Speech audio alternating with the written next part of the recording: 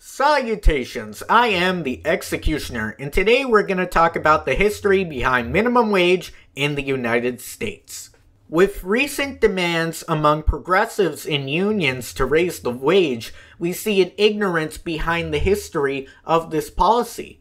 Minimum wage in the United States dates back to the Progressive Era, a period from around the 1890s to around the early 1930s Many figures of the Progressive Era include Franklin Delano Roosevelt, Theodore Roosevelt, Irving Fisher, and many others. One common similarity in the movements is its affiliation with eugenics. The progressive movement was rife with eugenicists. Irving Fisher, for example, in many of his writings proposed a minimum wage to keep, as he put it, undesirables out of the workplace.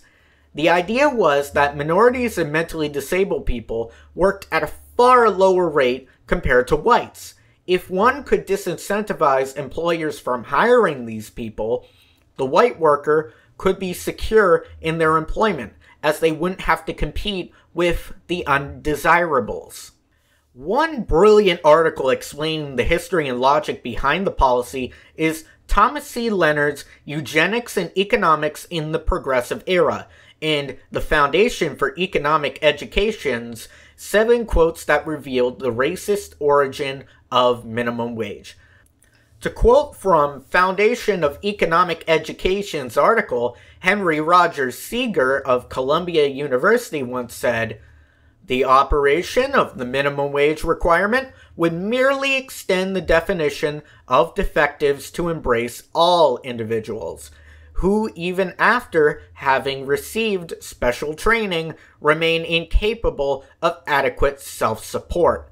If we are to maintain a race that is to be made up of capable, efficient, and independent individuals and family groups, we must courageously cut off the lines of heredity to have been proved to be undesirable by isolation or sterilization. Arthur Holcombe of Harvard described Australia's minimum wage policy as, quote, the minimum wage policy protects the white Australian standard of living from the invidious competition of the colored races, particularly the Chinese. A third quote, and this is one of my favorites, is from the New Republic's 1916 article, which said, Imbecility breeds imbecility, as certain as white hens breed white chickens. Under laissez faire, imbecility is given full chance to breed, and does so, in fact, at a rate far superior to that of able stocks. F.W. Taussig's in Principles of Economics, Volume 1 said, How do we deal with the unemployable? We must stomp them out. We have not reached the stage where we can proceed to chloroform them once and for all, but at least they can be segregated, shut up in refuges and asylums, and prevented from propagating their kind. Yes, you heard that right. Segregated and shut up in refuges and asylums. The unemployable, as he mentions, are the mentally handicapped, blacks, women, and other minorities. The fact is, as formulated, early theory focused on the intentional unemployment of minorities.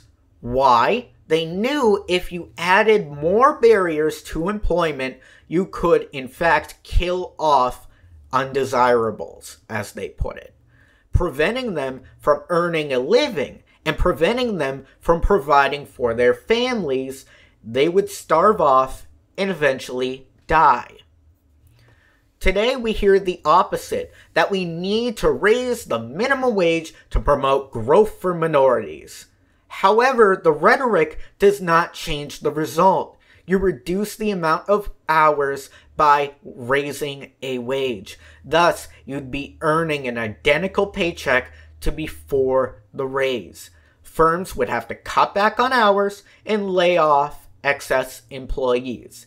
It's the same effect as the early progressives, just a different song and dance.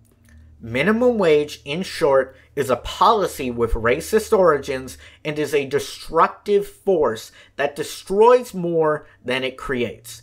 For more content on the minimum wage, I suggest Fedor C. Leonard's Progressives in Eugenics, Shane Killian's Minimum Wage Playlist, FEE, and Murray Rothbard's book on the Progressive Era. Murray Rothbard's The Progressive Era. I hope you guys liked the video. Please subscribe. Have a wonderful week ahead. Click the bell for any notifications if you are subscribed already. And remember, stay free.